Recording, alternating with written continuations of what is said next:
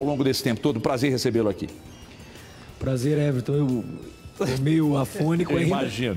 Porque realmente foi um dia muito especial. Desde lá de Salvador até a chegada aqui em BH, realmente foram dias muito especiais para todos nós. Prazer estar com vocês também aqui, Vinícius, Léo, CJ. Prazer enorme com todos os telespectadores aí da Band. Everton, a gente conversou internamente em alguns momentos, sim, sobre alguns jogos que foram capitais, né? E não poderia aqui deixar de lembrar basicamente de dois, por conta da importância do jogo que antecedeu. Então, quando nós fomos eliminados da- de forma invicta, daquele jeito para o Palmeiras, o jogo seguinte era o Internacional, né?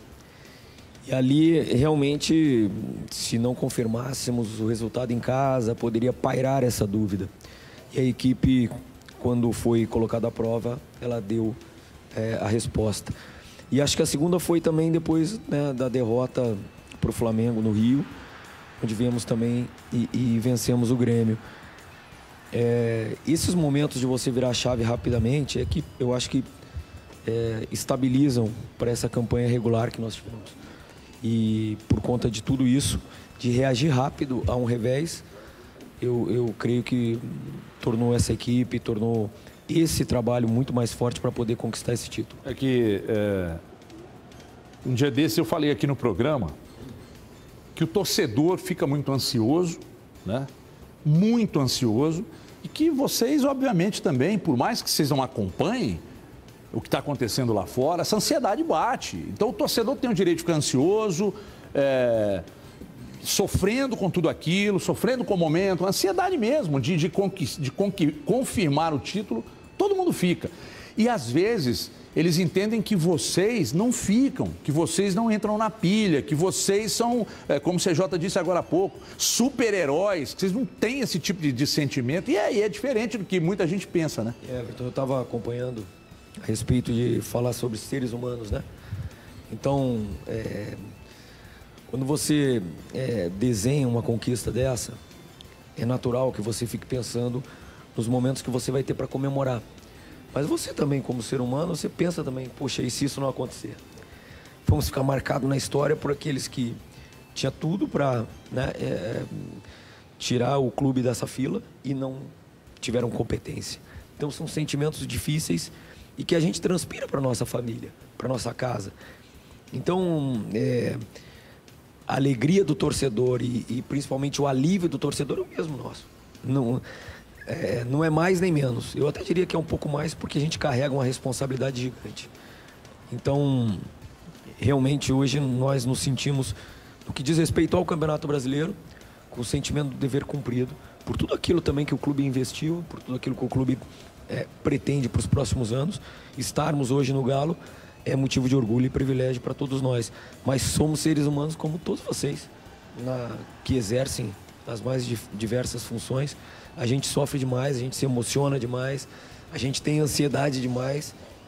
E comemorar isso aí realmente tem um sabor muito especial. Menino Gris, Rodrigo Caetano, nosso convidado, já batemos eh, papo com ele em outras oportunidades, né, na rádio, aqui mesmo na TV e tal. E depois do título, a promessa cumprida e ele conosco aqui, Gris. Ô, ô, Caetano, boa tarde. Muito legal ter você com a gente. Parabéns pela, pela conquista. É, queria falar um pouco com você da, da questão da. Você falou né, da, da- do dever cumprido. é, e esse título era um título que o torcedor do Atlético esperava há muito tempo.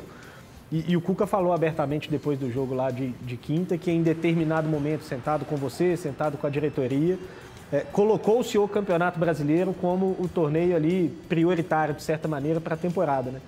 É, é claro que nem sempre as coisas saem como você imagina. Às vezes você planeja ganhar um ou, ou pretende ganhar um e acaba ficando mais próximo do outro. É, mas queria que você falasse um pouco dessa, dessa escolha mesmo que o clube fez de privilegiar o Campeonato Brasileiro, da importância que isso pode ter, inclusive, para o futuro do Atlético, de tirar um peso que o Atlético tinha aí de ser o grande é, há, há mais tempo sem vencer o campeonato.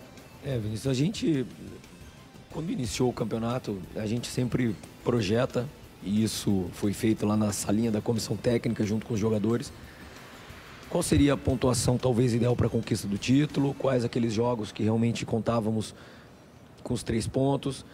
e é natural você partir de uma ideia.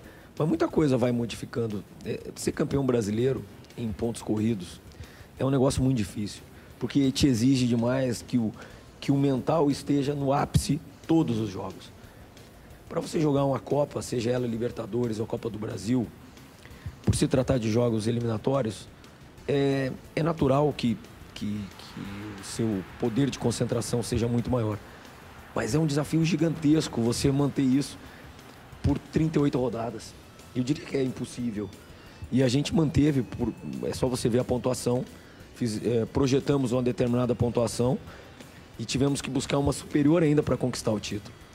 E realmente esse pessoal, essa garotada está de parabéns, porque fez de todos, todas essas 37, né, ainda falta uma, essas 37 rodadas realmente uma, uma grande decisão. Eu acho que aí é que foi o segredo do sucesso de encarar o Campeonato Brasileiro como é, decisões importantes.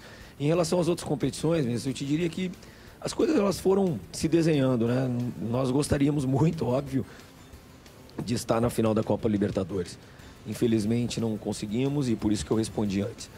Logo depois daquela eliminação, a gente realmente disse, olha, talvez o nosso grande campeonato seja realmente para esse ano, né? Para esse ano o Campeonato Brasileiro. Então, assim, graças a Deus a coisa terminou bem. É, eu imagino que deve ter sido um alívio já eliminar lá esse, nesse jogo contra o Bahia, porque se deixa para o jogo de ontem aqui, ficou 4 a 3 o clima é diferente, a pegada é diferente, mas se deixa para o jogo aqui do Mineirão, ia ser um drama na vida de todos. Falando em drama, drama é de quem não tem